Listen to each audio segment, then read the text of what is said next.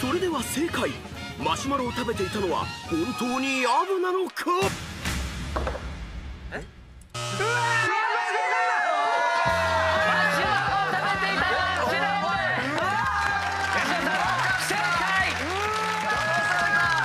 こりゃ騙されたわ普通に食べてんじゃないうまいうまいうまいよそりゃ僕らも今予想してたのは伊野尾ちゃんだったんです伊野尾ちゃんだと思ってたんです完全にみんなが騙されましたこれ。騙されました。ね。伊能がうなぎ譲るわけないだろ。